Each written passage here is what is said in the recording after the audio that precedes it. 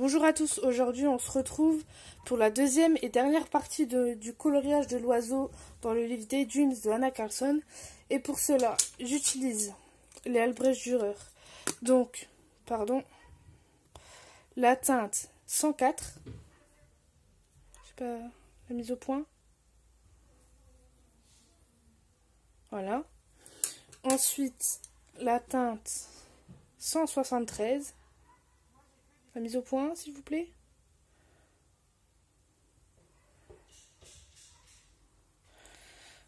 Bon alors.